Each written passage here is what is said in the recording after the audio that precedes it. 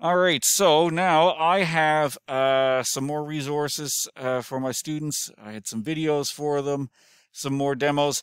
I have another video here on connectivism, and I've actually posted this video into Teams. So uh, I am going to go back into the Teams area now so that you can see that. See where I've got that tucked away. So if you go to our general team, uh, I showed you where the PowerPoint slides were there.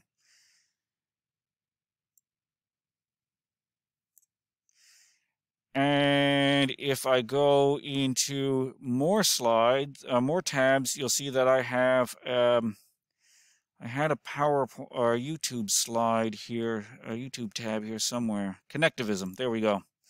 So I've got the video right here in Teams. So you can go back and rewatch it anytime you want because it's in our class Teams but I can also play it directly here and you guys can see the video. And then we can move on with the class. So everyone has access to it. They can rewatch it at their own pace. And I've got the resource at hand. I don't have to go searching all around my computer for it because I gathered it together in teams beforehand, just like I would for an online class. There are monitors on the side. I can't see them at the moment. Uh, it looks like they are off at the moment, but I could turn them on. I have a controller here in front of me on the lectern, so I can turn them on. Uh, and it's on the main screen as well.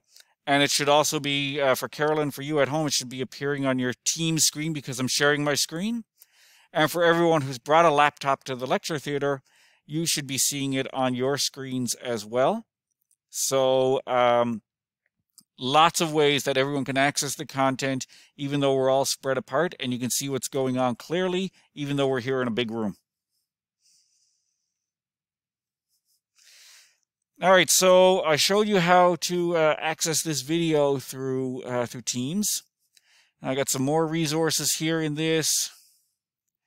And then I had a breakout activity set up for everybody.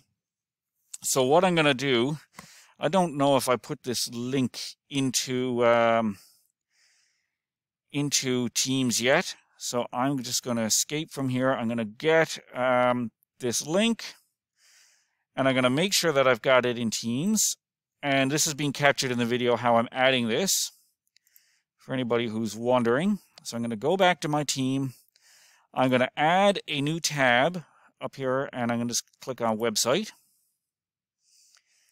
And I'm going to call this Padlet activity. I'm going to paste the URL in here.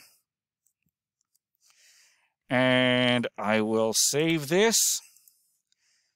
So now I've got a new activity showing up in Teams. Everyone should be able to see this Padlet wall here now.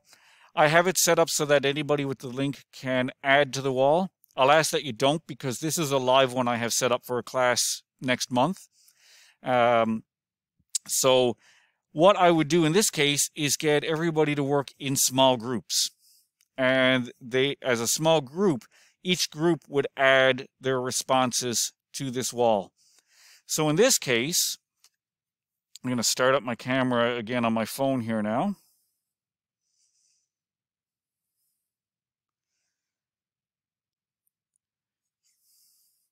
So in this case, I've got the Padlet activity here for everybody. So everybody can see this same Padlet activity on their screens. And I'm going to ask Lynn and Robin to work together as a small group. So they could turn around here without moving from their seats. They could open up the Padlet wall on their laptops. They can have a small discussion in their little area here now without getting too loud. And they can put their responses on here. When they are done, with their responses. Then we could bring them up on the screen and we can view these responses and discuss them as a whole class. And everyone at home can, can view them and respond as well. All right, so the next thing that I had in here, I'm going to come back into my slides, present them again.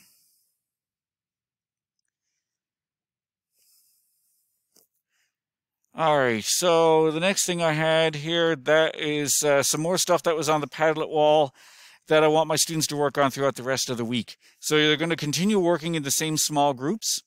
And what I can do is set up a channel for them in Teams, a, a separate private channel, and add them to it. So I could have Group A, Group B, Group C, whatever I want to call them. They can go in, set up their own meetings uh, from home, however they want to meet and discuss and they can continue on these activities here and put their responses on the Padlet board. We can bring this Padlet up again next class. We can discuss the responses as a whole group. Or we could get someone from each group to act as a reporter and to uh, to discuss the responses that they had put on there and share them with the class. So we're using the same resource both during class and afterwards. It's accessible through Teams, so they don't need to go hunting for links could also post that into um, into Moodle for them in the discussion forum if they want to access the link.